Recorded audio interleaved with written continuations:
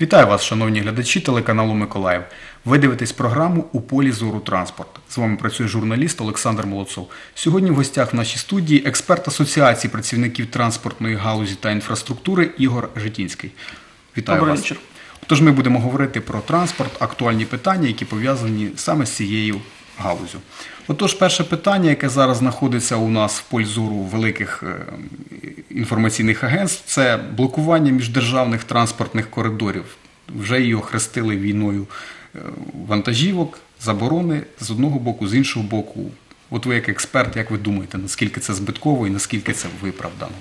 Прошу. Ну, начиная комментировать этот вопрос, хотелось бы сразу, знаете, как бы отойти от, э, скажем так, э, ну, э, с- ну, всего наносного, а просто посмотреть на, на эту проблему, скажем так, здравомыслящим взглядом, что реально происходит.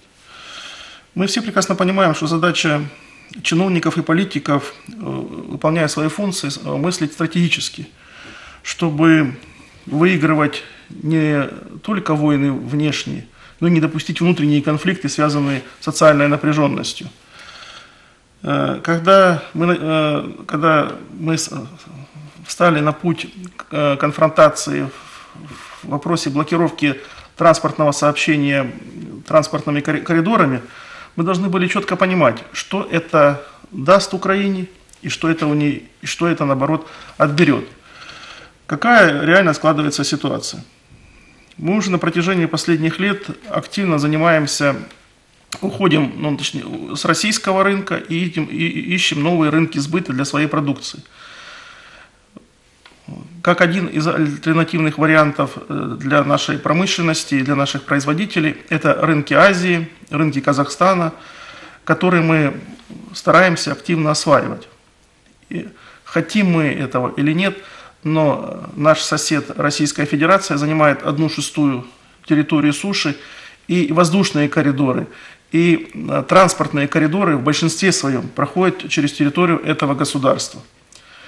Э, Когда мы начали кампанию по блокировке транспортного сообщения российских фур на территории Украины, ну почему-то все поддались эмоциям. Вот мы э, остановили автобусы, с Росси- транспортные средства с российскими номерами. Ну, давайте прямо скажем, весь бизнес в мире уже транснационален. Если э, российская фура везет груз, то это не обязательно груз российского происхождения. Это может быть груз с Казахстана, с Китая. И он едет не в Украину, а он едет транзитом, как правило, в страны Евросоюза. И э, ставя препоны э, перемещению груза по своей территории, фактически мы показываем всему миру, что Украина как экономический партнер непредсказуемый, он может нарушить все международные договоренности. А здесь мы нарушили договоренности в рамках э, СОТ, это Всемирная организация торговли, о так называемых э, э, закон о транзитных коридорах, где э, государства обя- обязывают беспрепятственное прохождение товаров для третьих стран. И это, скажем так, международно урегулированный механизм. Тем самым мы э, свои пон- понесли репутационные риски перед западными партнерами. И самое главное, мы не просчитали экономический ущерб для самой Украины от этого. За Да.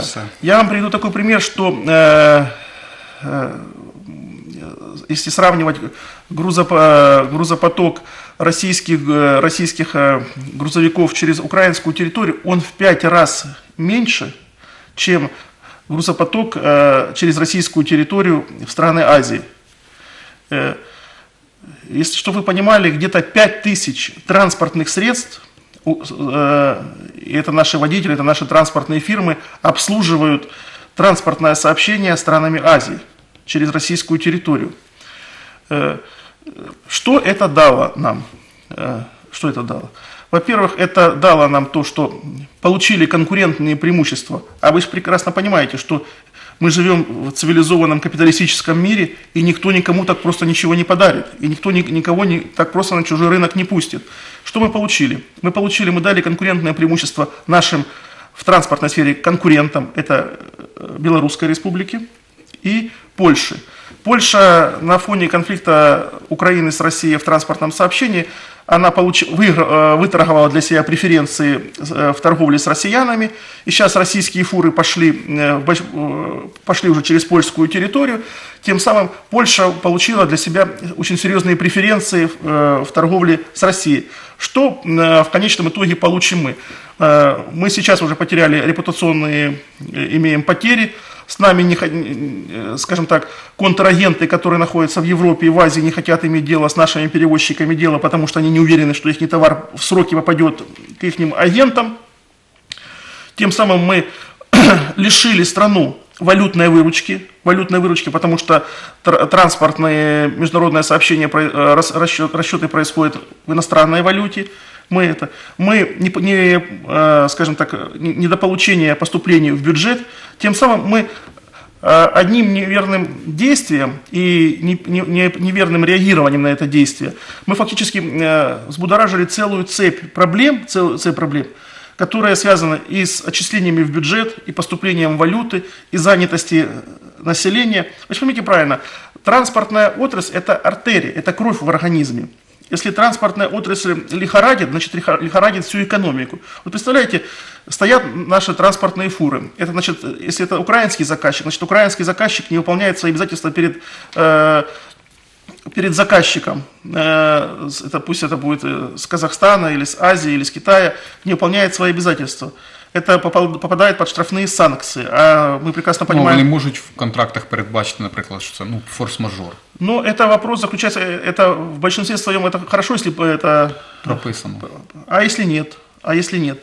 Тогда мы видим э, эту ситуацию, когда, э, скажем так, не может быть в нормальной экономике, в нормальном бизнесе ситуация, ситуация, когда, скажем так, бизнес страдает от необдуманных действий политиков. Я вам просто приведу нормальный пример из жизни.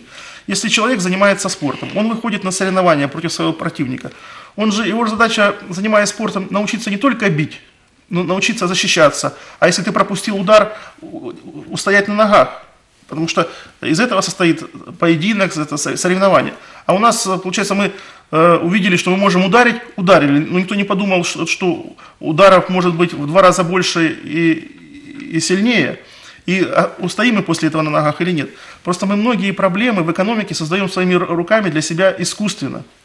Э, э, Поверьте, э, транспортная отрасль, особенно международные перевозчики, они одни из первых, еще с 90-х годов, работали с европейскими странами и были интегрированы в евро- европейскую экономику. И они, как никто лучше, знают условия конкуренции на, на европейском рынке. Я вам хочу сказать, то положение, которое занимали наши международные перевозчики в Европе, и то признание, которое они имели в Европе, это благодаря грамотной и, и много э, работе много десятилетий, что выстраивали свою работу и показывали, что они надежные партнеры. Фактически за последний месяц мы это все, что мы наработали десятилетиями, э, было растоптано. Ну, наскільки я знаю, зараз в най- найвищому рівні все-таки ведеться розмови про те, що треба все-таки скасовувати цю заборону.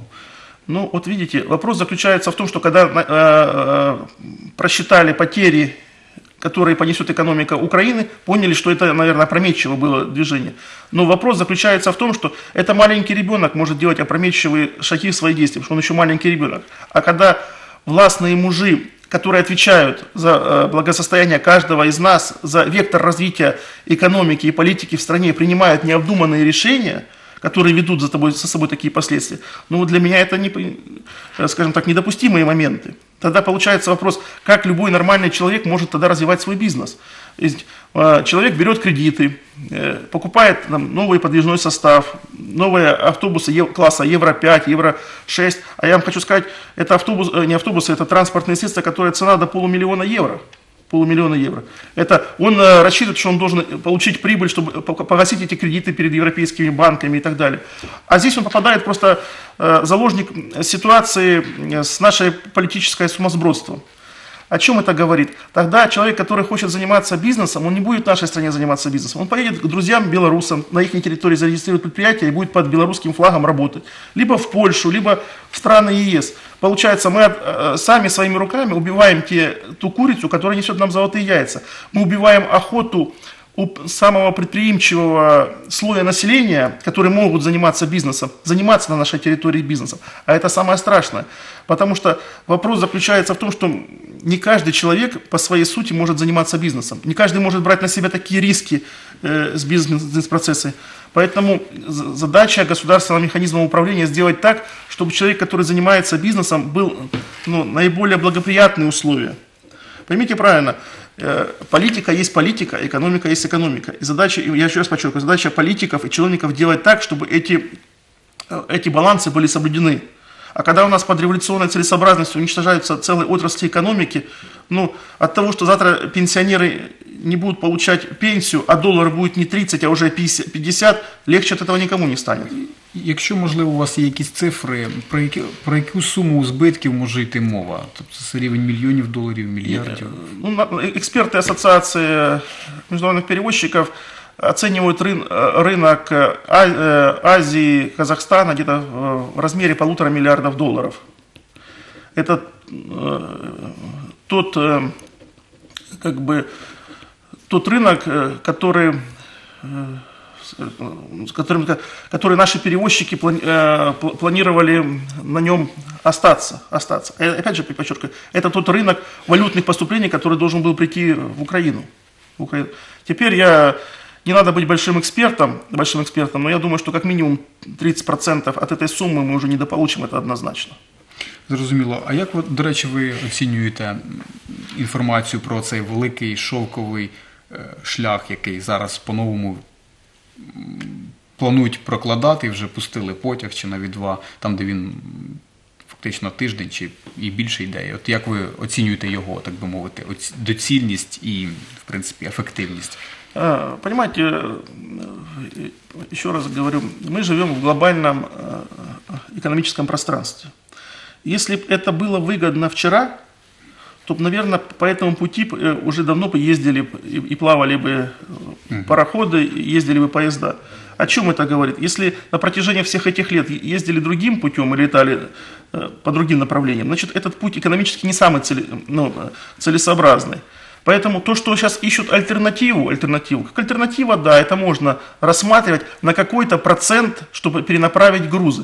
Но опять же, однозначно, тут не надо э, посмотреть логистику перемещения груза, однозначно удорожание перемещения груза будет э, по этому шелковому пути. Помимо того, что удорожание, сразу возникает вопрос, а будет далее этот груз конкурентно спроможный на рынках э, наших партнеров? Потому что вопрос, сейчас каждый цент имеет значение, каждый цент имеет значение. И вопрос, может быть, наши чиновники, для них там доллар-полтора э, в себестоимости груза, им кажется, что это копейки, но все умеют читать деньги, если они видят, что им становится это невыгодно, они просто переориентируются на другие рынки и будут покупать в других странах. Дякую за коментар. Давайте перейдемо на трошки менший наш обласний рівень. Давайте поговоримо про участь громадськості у вирішенні цієї спірної ситуації, яка склалася от поблизу нашого центрального автовокзалу на вулиці Чигрина.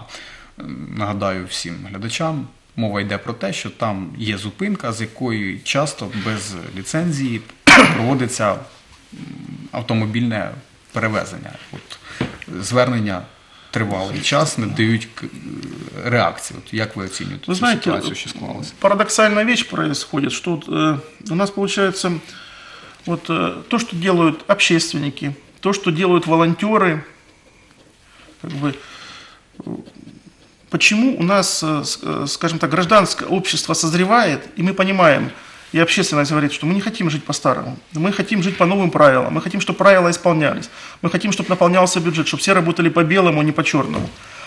И, и, и волонтеры, и общественность поднимают эту проблему изо дня в день.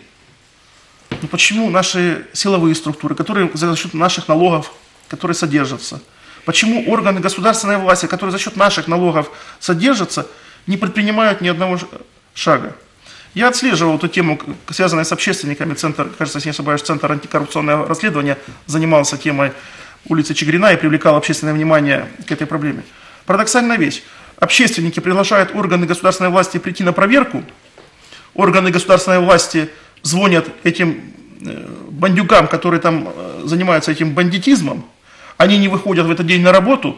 Органы власти приходят, видите, ну, ничего нет.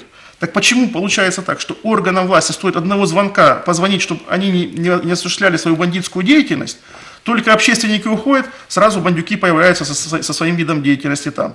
О чем это говорит? Да как, сколько мы будем терпеть, что, получается, органы государственной власти не выполняют свои функции перед обществом, не защищают общество, а наоборот, получается, паразитируют на проблемах. Вот о чем. Я вам хочу сказать, общественность сейчас подняла очень серьезную проблему. И оно сейчас фактически сделало вызов власти.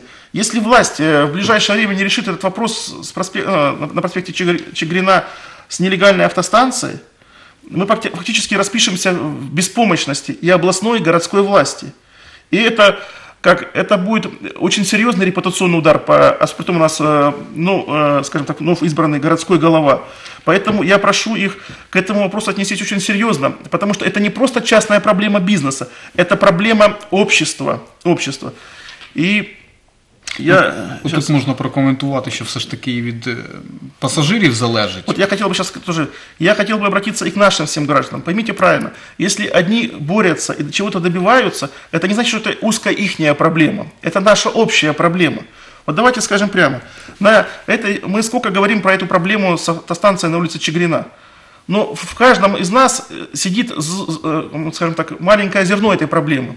Если бы каждый из нас, понимая свою ответственность перед обществом, и шел бы и садился на маршрутку не на Чигрина, а прошел 5 метров и сел на автовокзале, международном автовокзале Николаев, где, кстати, проезд до Одессы стоит 60 рублей, а у этих э, не, скажем так, э, ну, скажем так, организованной преступной группы, по-другому никак не скажу, стоит проезд 100 рублей. Так давайте же мы своими деньгами голосовать э, за цивилизованное развитие.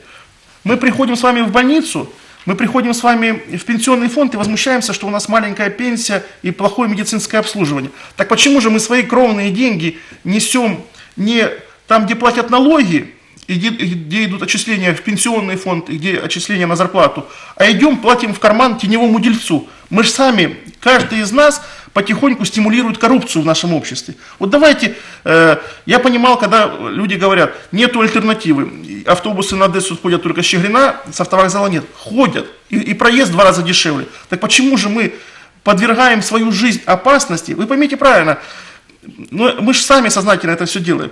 Но почему мы видим, что нам не продают билет, черный нал, черный нал, и нас не возмущает, а если автобус попадет в аварию?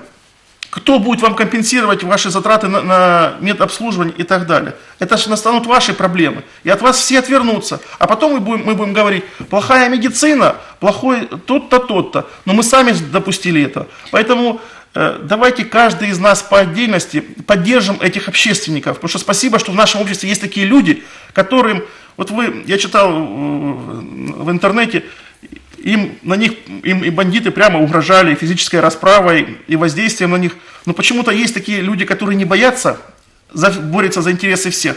Так давайте их поддержим. Давайте заставим ту же власть э, не делать вид, что проблемы нет, а реально вмешаться. Вы знаете, меня возмутил тот факт, я читаю комментарии заместителя городского головы Степанца по поводу э, э, этого навеса на, на Чехрина, и он говорит, да, проблема есть, но общественность может обратиться к нам с требованием отменить аренду этого навеса, и мы тогда подумаем и примем решение. Так вопрос заключается в том, кто, кто слуги, общественность у власти или вы у народа слуги. Почему? Общественность вам показала проблему – у вас есть все механизмы воздействия. Вы должны принять толковое решение в пользу громады и принять решение. А получается, общественники должны нанять юристов, юристы должны составить толковое заявление, а депутаты потом подумают, а стоит ли им идти навстречу народу или нет.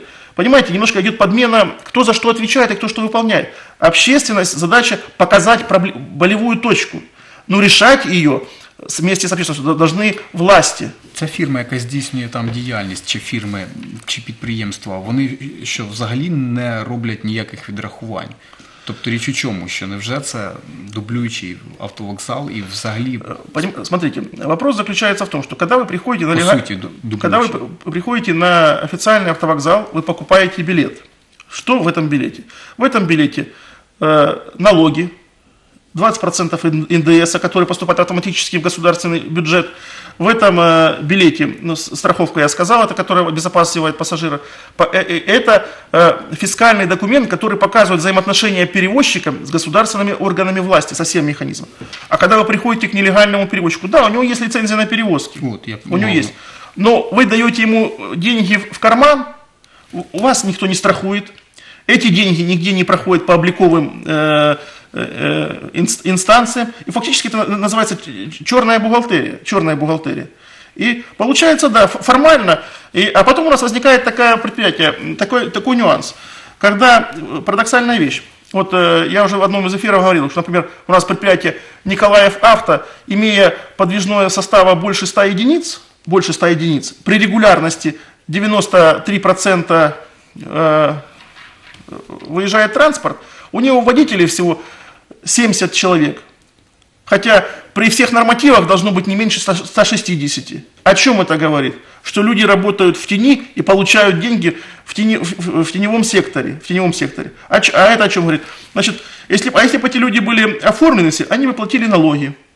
Они бы делали числения. Я, я вам хочу сказать, как минимум бы, э, только на примере одного этого предприятия, как минимум бы миллионов 5 бы 6 э, бюджеты всех уровней по- получили бы гораздо больше.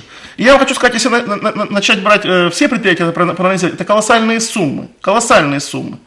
Почему мы говорим, что мы можем делать вид, что а, проблемы не решаются. Вот мы, э, сейчас очень тоже на устах проблема, связанная с дорогами. Так за какой счет ремонтировать дороги, когда у нас все деньги в тени? А вот представьте, если бы эти деньги мы смогли бы оприходовать и направить на ремонт дорог, тогда бы мы не занимались бы художествами на улицах бы города, а у нас бы были нормальные дороги. А так получается парадоксальная вещь. Транспортники, которые убивают дороги в нашем городе, не платят налоги, в черную работают, а мы потом говорим, надо залезть в карман э, пенсионера, надо залезть в карман молодежи, они не, не дофинансировать их программы, а залатать дырки. Да это ж неправильно. Это ж неправильно. Нелогічно, як мінімум.